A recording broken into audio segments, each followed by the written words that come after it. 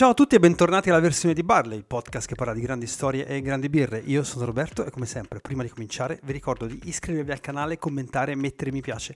Aiutatemi a far arrivare questo canale a più persone possibili. Come dico sempre, siate curiosi e non fermatevi alla prima. Vi faccio vedere un numero, eccolo qua, sono più di 8000 persone che guardano i video della versione di Barley e non si iscrivono. Se queste 8000 persone si iscrivessero, io sarei già a 10.000 iscritti. Per voi non costa nulla, per me cambia tutto. Quindi davvero per favore se vi piacciono questi video iscrivetevi al canale, è fondamentale. Oggi parliamo di Megalopolis, o almeno ci proviamo perché è un film che mi ha lasciato senza parole. Mi avrà lasciato senza parole nel bene o nel male?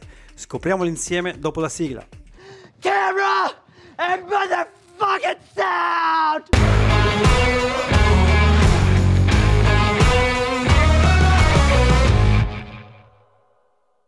Megalopolis, ragazzi, Megalopolis, che mi ricorda troppo Megaloman. Ve lo ricordate Megaloman? Telefilm fantastico con una sigla fantasmagorica.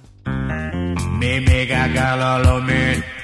Megaloman. Vorrei davvero parlarvi di Megaloman al posto di Megalopolis, perché questo film mi ha fatto veramente incazzare. Non solo il film in sé, ma tutte le cazzate che gli sono nate intorno. Tipo è un film che verrà capito fra 30 anni, mette in discussione l'idea stessa di fare il cinema, è un'opera troppo grande per il pubblico contemporaneo. Ragazzi, ma che cazzo dite? Un film si può giudicare da tante cose, alcune oggettive, altre invece soggettive. Può succedere che un film scritto male e girato così così vada a toccare delle corde tue personali fino a farti dire però dai cazzo questo film mi è piaciuto. Poi però c'è tutta la sfera un pochino più tecnica, un pochino più professionale che bene o male va tirata fuori in una recensione, se no davvero di che cazzo parliamo? Bisogna parlare di regia, di fotografia, di sceneggiatura, di recitazione. In più, e su questo aspetto io ci spingo tanto, perché è un elemento delle storie a cui io tengo particolarmente, bisogna parlare anche di senso. Porsi la domanda: che senso ha questo film? Che senso ha questa storia? Cosa ha voluto veramente dire? Dove vuole veramente arrivare? Per esempio, io che non sono un fan di Miyazaki, ho visto il ragazzo e l'airone e non ci ho capito un cazzo. Però poi ho studiato e ne ho capito il senso. Ho capito il senso di un film che comunque non mi era piaciuto minuto.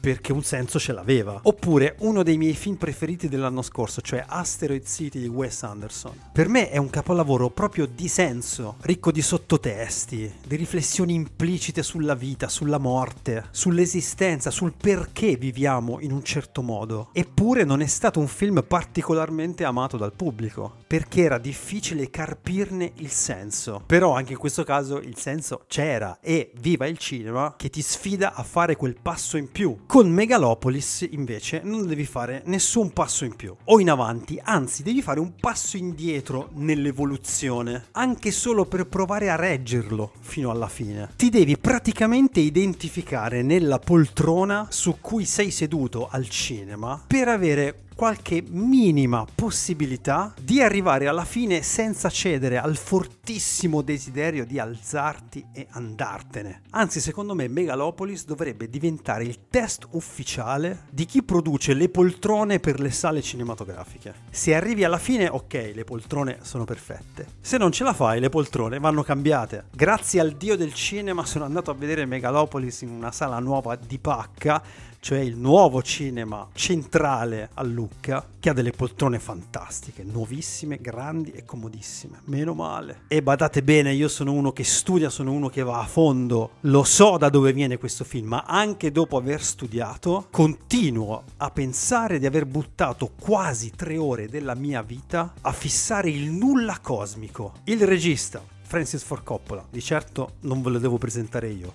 O forse sì, perché Coppola, secondo me, più di ogni altro regista della sua generazione, gode di una fama di genio autore superiore a quelle che sono le sue reali capacità. Attenzione, non capacità artistiche o tecniche o specificatamente registiche, ma capacità di perdurare, persistere in un certo senso sopravvivere al media che lui ha scelto per esprimersi, cioè il cinema.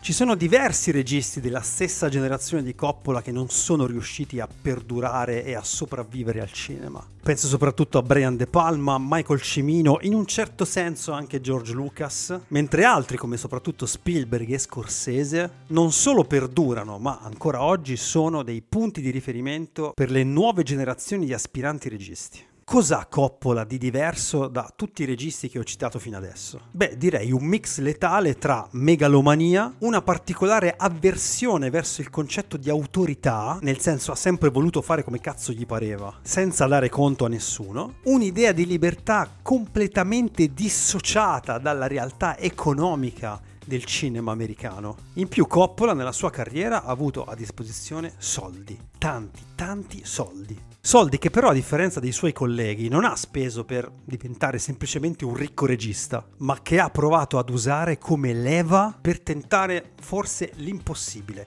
cioè cambiare le regole di Hollywood dal suo interno. Con i milioni di dollari guadagnati tra il 1972 e il 1979, anni tra i quali ha realizzato in ordine Il Padrino, La conversazione il Padrino parte seconda e Apocalypse Now, Coppola infatti diede vita ai Zoetrope Studios, una vera e propria utopia cinematografica. Degli studios in cui registi di tutto il mondo potevano venire a girare i loro film liberi da qualsiasi costrizione economica o da qualsiasi rottura di cazzo da parte degli studios, quelli veri, considerati da Coppola ormai come dei dinosauri in via di estinzione. Negli stessi anni in cui gente come Spielberg e Scorsese realizzava dei film che di fatto sono entrati nella storia del cinema, come per esempio E.T. e Toro Scatenato, Coppola costruiva questa realtà parallela a Hollywood un po' fricchettona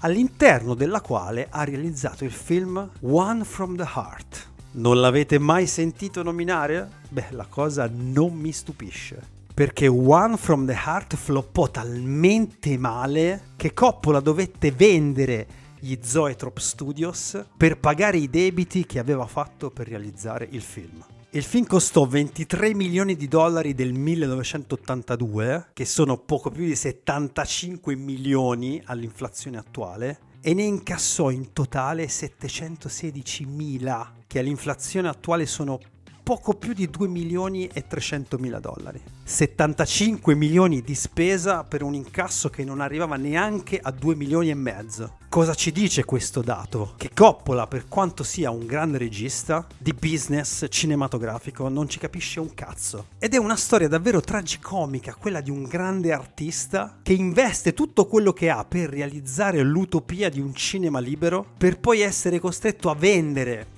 questa stessa utopia perché per realizzarla ha perso tutto quello che aveva. O meglio, perché il frutto di questa utopia non ha incontrato i gusti del pubblico. Però per fortuna o purtroppo il cinema lo devi fare per un pubblico. Da quel flop in poi la carriera di Coppola non si è praticamente più ripresa. È andato in bancarotta per ben tre volte e ha sempre dovuto accettare di girare film a contratto perché era un debito ambulante. Nel frattempo ha trovato una grande fortuna imprenditoriale nella produzione di vino. Bene così, almeno lì non può fare danni e invece i danni li farà anche lì, ma ci arriviamo dopo. Quindi, ricapitoliamo un attimo. Autore di un certo spessore, grande personalità, un po' megalomane e restio alle regole, ma comunque un regista che porta soldi agli studios. Parte per la tangente, credendosi evidentemente un remida in grado di trasformare in oro tutto quello che toccava, e fa tanti di quei buchi in terra che da regista super indipendente diventa praticamente un dipendente delle poste con una telecamera in mano. In questo contesto psicologico e professionale, Coppola legge un libro intitolato 12 Against the Gods di William Bolito, un libro che racconta la biografia di 12 grandi figure del passato che hanno sfidato appunto gli dei, dei intesi come tradizioni o potere politico o economico che sia, per realizzare i loro grandi sogni e le loro grandi utopie. Personaggi come Alessandro Magno, Cristoforo Colombo, Napoleone e un tale Lucio Sergio Catilina. La storia di quest'ultimo personaggio, cioè Lucio Sergio Catilina, letteralmente folgora Francis Ford Coppola sia per le qualità narrative della storia di questo personaggio, sia per le similitudini con la storia di Coppola uomo. Ora momento Alberto Angela. In breve, Lucio Sergio Catilina è stato un generale e politico romano che nel 62 a.C. ha cercato di sovvertire il potere oligarchico del Senato romano cercando di avvicinare gli elettori, quindi la plebe, alle istituzioni stesse, di fatto azzerando i privilegi elitari che davano le cariche pubbliche, equiparando i cittadini semplici ai politici. Una società utopica basata sull'uguaglianza sociale, senza classi, un'idea politica che ovviamente lo ha portato a morire ammazzato per mano dello stesso Senato romano. Ti immagini già allora l'uguaglianza sociale, ma che cazzate. Coppola nell'Utopia di Catilina ci rilegge l'utopia dei suoi Zoetrop Studios, ma soprattutto ci legge l'ostracismo di Hollywood che ha gioito al suo fallimento e metaforicamente ne ha ucciso le velleità artistiche e autoriali. Così come il Senato romano voleva preservare i suoi elitarismi, Hollywood voleva preservare i suoi ad ogni costo. E proprio in quegli anni, siamo verso la fine degli anni Ottanta, Coppola mette tutte queste riflessioni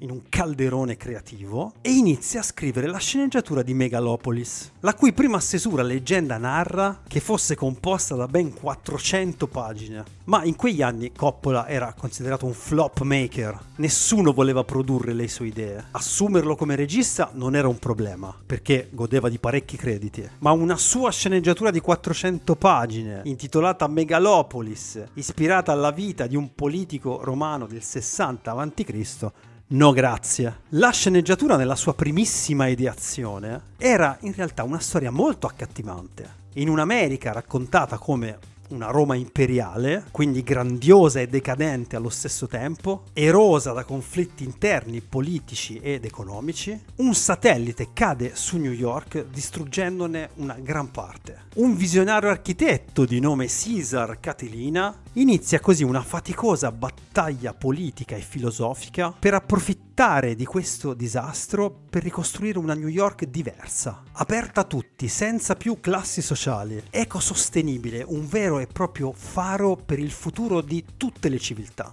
Ovviamente i vecchi dinosauri legati al vecchio potere che nella sceneggiatura sono caratterizzati dal sindaco di questa città e da un ricchissimo banchiere, non volendo perdere proprio i loro privilegi di classe, ostacolano questo progetto cercando di screditare Caesar Catilina agli occhi del popolo e poi facendolo fuori. Beh, devo ammettere che la storia raccontata così non è male, eh? Però stiamo parlando di Francis Ford Coppola e ai tempi l'unico modo di realizzare questo film era quello di autofinanziarselo perché nessuno gli dava più credito. E Coppola che fa? Decide di vendere una buona parte della sua azienda vinicola per finanziarsi le riprese di Megalopolis. Mannaggia lui, oh, non ce la fa a non buttare via i suoi soldi, non ce la fa. Ovviamente la sceneggiatura negli anni viene stravolta soprattutto dopo l'attentato alle Torri Gemelle del 2001, ma non solo, viene stravolta dal mondo che semplicemente continua a girare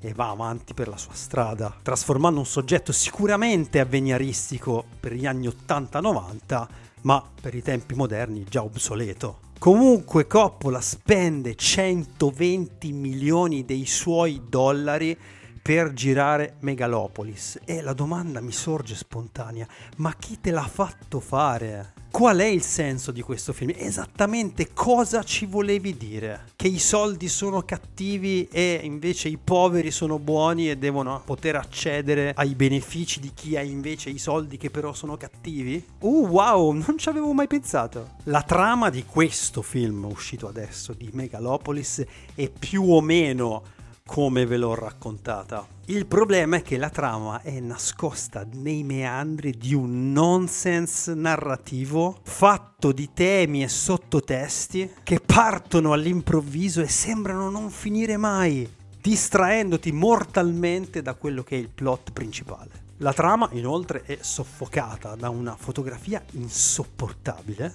e da una recitazione molto difficile da decifrare. Mentre guardavo Megalopolis ho avuto la sensazione che anni fa Coppola avesse davvero scritto una grande sceneggiatura, ma che poi a pochi giorni dall'inizio delle riprese l'avesse persa. Avesse perso l'unica copia esistente. Quindi è andato sul set cercando di girare quello che si ricordava, dando qualche indicazione agli attori, ma di fatto dicendogli fate come cazzo vi pare. Megalopolis, attorialmente parlando, è una lunga, lunghissima performance di improvvisazione. A tratti insopportabile. Perché quando un attore recita la parte di una persona triste, felice o arrabbiata, per far sì che la sua recitazione sia credibile, sono fondamentali le motivazioni di quel personaggio. Senza motivazioni stai semplicemente scimmiottando la tristezza, la felicità o la rabbia. Ecco, Megalopolis è esattamente questo. È una bozza di storia che viene raccontata scimmiottando tutte le emozioni che quella storia dovrebbe far provare ai suoi stessi personaggi, ma sotto sotto le emozioni non ci sono e quindi neanche le motivazioni e quindi neanche i personaggi e quindi neanche il film. È molto difficile parlare di questo film perché non è un film. È il lungo cazzeggio di un regista che semplicemente ha trovato il modo e la maniera di realizzarlo come cazzo voleva lui.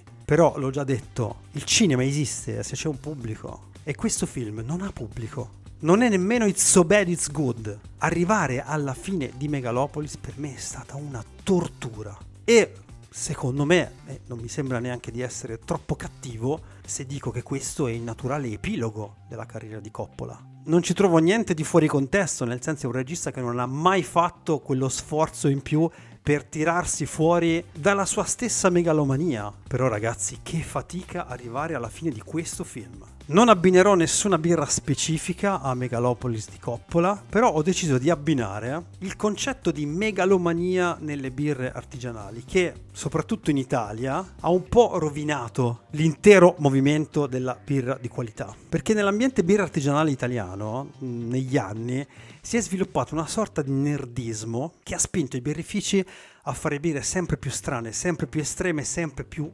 megalomani, che però non avevano un pubblico. Quindi quello che è il pubblico di massa, quello che premia le birre commerciali perché non sanno di niente, sono tutte uguali, si è allontanato dal mercato dell'artigianale perché una birra con ingredienti troppo strani per il pubblico medio invece di avvicinare ha allontanato e ora tutto l'ambiente birra artigianale sta cercando di correre ai ripari, quindi di fare un passo indietro, quindi birre tradizionali, birre tedesche, birre belga, eccetera, eccetera, ma potrebbe essere troppo tardi. Speriamo di no. Megalopolis forse lo trovate ancora al cinema, io non credo, secondo me l'hanno già tirato via perché almeno la mia sala era deserta e ci credo. Abbinato al concetto che ragazzi, i megalomani in qualsiasi contesto che dipende da un pubblico non possono funzionare.